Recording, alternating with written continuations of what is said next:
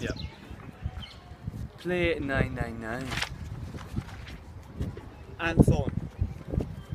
I won't leave her. I want to lie with her. Abraham, well, you can't, and nor would you want to if you knew what your mother had done. Anne Thorne, she's done nothing. She's not a witch, she's my mother. Gabriel, she's nobody's mother now, just ash and bone. Anna Thorne shakes her head. She goes to the ground and clutches her mother's skull. Abraham, don't touch that, that's dirty and evil. Put that down, girl. Anna Thorne, it's hers. I want it back. I want my mother. Abraham, you put that down or I shall strike you. Anne Thorne, no!